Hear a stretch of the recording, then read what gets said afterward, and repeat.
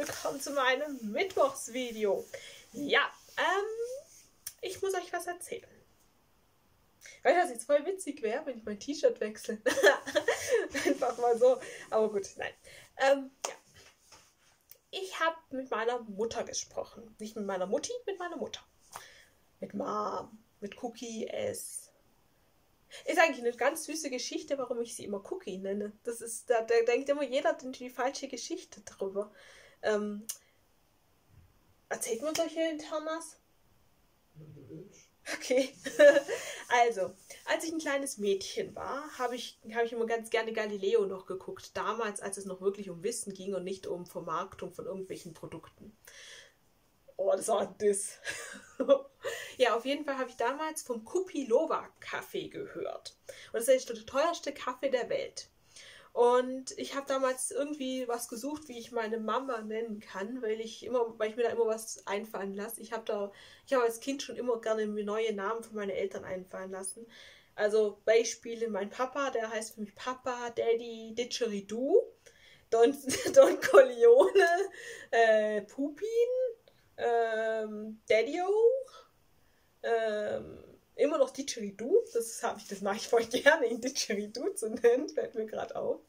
Äh, Papilein, hm, Daddy. ja, und meine Mom, die habe ich halt Mom, Mama, Mami, ähm, Cookie, äh, Mumin. Mumination, Mumination, das ist, so, ist immer so ein fortlaufender Prozess. Meistens nenne ich es immer Mumin, Mumination, Mumination. ja, und ja. Und dann habe ich halt mal wieder was Neues gesucht, weil es einfach so ein Ding bei mir war. Und dann habe ich halt die Geschichte gehört von diesem Kaffee. Das ist der teuerste Kaffee der Welt und überhaupt und sowieso. Und ähm, weil sie damals sozusagen mein Kontakt zur Außenwelt war und somit für mich das teuerste, was es gibt, war, habe ich mich entschieden, sie danach zu nennen und habe sie dann einfach Cookie genannt. Nach dem, nach dem Cookie Loba Kaffee. Also eigentlich kein sehr charmanter Name, weil der Kaffee ja nur entsteht, weil die Katzen das essen und dann wieder, aber ich habe halt einfach von Wertigkeit und ja, deswegen heißt es für, für mich Cookie. Gut. Damit habt ihr mal wieder eine neue Geschichte aus meinem Leben. Aber eigentlich ging es gar nicht darum. ich wollte euch eigentlich was anderes erzählen. Reicht das als Video? Ja. Reicht das so als Video eigentlich, die Geschichte? Was wolltest du erzählen? Ja, ich wollte erzählen, dass ich ja auf jeden Fall ähm, zu diesem Zeitpunkt, als ich meine Cookie angefangen habe, Cookie zu nennen, ähm, und zwar nicht nach dem Keks, weil so, sie ist für mich kein Keks, sie ist für mich das Wertvollste, was es überhaupt gibt, nämlich eine Mutter und mein Vater ist halt für mich so das, ähm, ist halt die Chiridou. Das Gegenstück zu Cookie ist, war die Chiridou. ich weiß auch nicht, aber ist halt so. Ähm, ja. Vielleicht, weil ich immer ein Didgeridoo haben wollte. Hm. Ja, egal.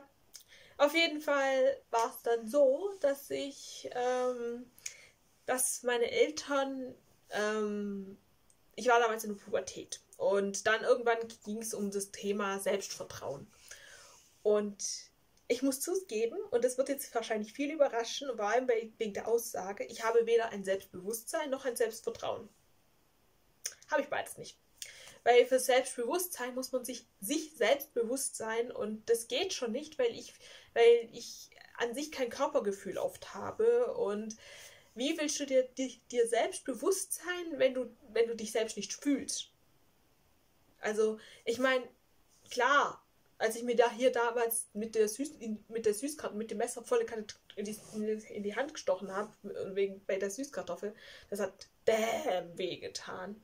Und die Narbe tut immer noch weh, wenn das Wetter sich danach wechselt. Ganz witzig. Ähm, und klar, wenn ich mich mal anschlag, merke ich es auch, aber an sich merke ich mich nicht. Und ich, ich, ich habe oft so Situationen, wo meine Mom so zu mir, meine Mom mich anguckt und sagt, was denn den blauen Fleck her? Und ich mir denke, oh, weiß nicht.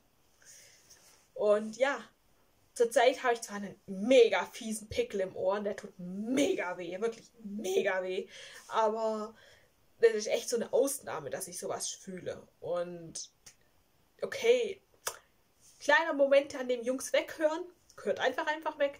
Aber ich, es ist für mich oft so gewesen, dass ich, dass auch wenn es blöd war und schmerzhaft war, habe ich mich über meine Periode gefreut, auch in gewisser Form, weil durch diesen Periodenschmerz habe ich zumindest mal ein bisschen was von mir wahrgenommen und habe mal nicht nur, ähm, war nicht nur so irgendwie irgendwo da und habe mir so gedacht, wo ist da denn das Gegen, wo ist sie denn? Sondern war was. Und äh, ja, seit neuestem habe ich das jetzt auch nicht mehr. Ist sehr traurig. Es ist meine erste Periode überhaupt in meinem ganzen Leben, wo ich keine Ibuprofen brauche, nix. Ich bin jetzt am dritten Tag und ich habe noch kein Schmerzmittel genommen. Ich bin begeistert, aber eben auch leider nicht. Aber es ist cool. Es kann gerne so weitergehen. Ähm, für diese Periode vier Sterne gerne wieder. Entschuldigung. Ich habe den Männern gesagt, sie sollen weghören. Okay, hier können die Männer wieder zuhören, wenn sie wollen.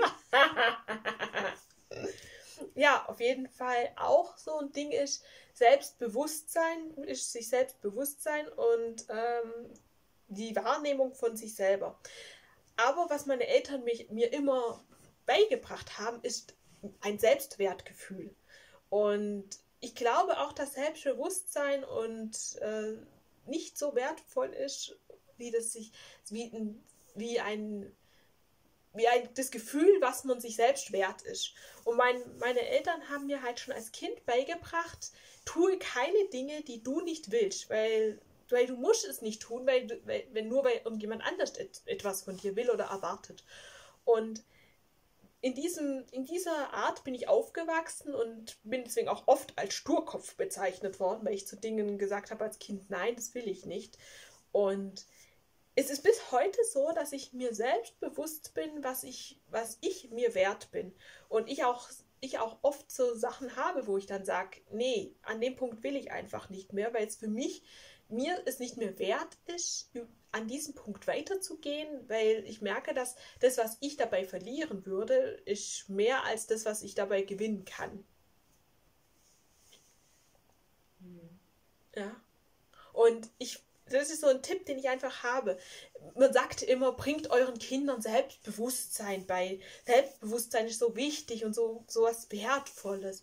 Aber ist es nicht, weil Selbstbewusstsein ist ja bloß das sich selbstbewusst sein, dass man existiert.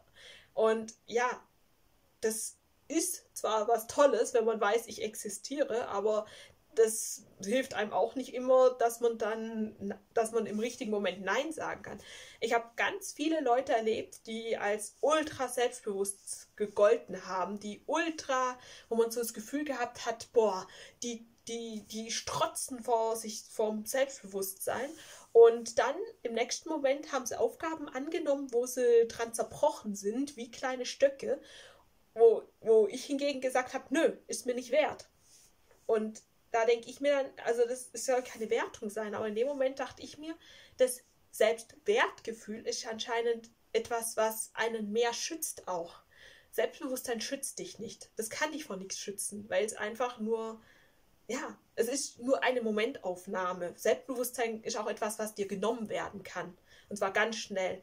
Ein Beispiel, du, du hast das Gefühl, du bist zu ich, also wenn mein, ich habe manchmal Momente, wo ich so selbstbewusst bin und dann gehe ich nach unten zu stolz geschwellte Brust und bin stolz ohne Ende auf mich und dann sagt meine Mutter zu mir, hol mir mal kurz den Tee vom, vom Schrank runter und ich komme nicht mal im Ansatz an diesen Tee ran und bang, Selbstbewusstsein ist weg. aber das Selbstwertgefühl und zu sagen, nee, kann ich nicht, ich bin dafür zu klein gewachsen, aber ich bin halt wie ich bin. Das ist dann da und dann fühle ich mich auch trotzdem wieder gut. Klingt das jetzt komisch? Mhm. Gut. ja, und das war sowas, was ich euch einfach mal mit auf den Weg geben wollte, dass Selbstbewusstsein zwar eine feine Sache ist, aber Selbstwertgefühl ist das, was uns am Ende des Tages viel mehr bringt. Wenn ich mir jetzt, wenn ich es mir jetzt wert bin, werde ich keine Ibuprofen nehmen. Ich ziehe durch. Ich ziehe diese Periode durch, ohne Schmerzmittel. Ich mache und wenn ich mich danach fühle wie, wie Superman und Batman zusammen. Ich mache die beiden bewusst her platt. Ah, Man könnte gerade meinen, ich habe voll die Klatsche. Aber ich bin einfach gerade mega stolz auf mich. Gut.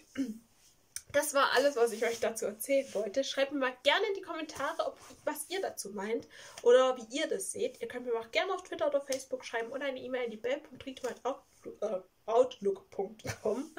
Ich wünsche euch eine wunderbare Zeit und bis bald. Tschüss.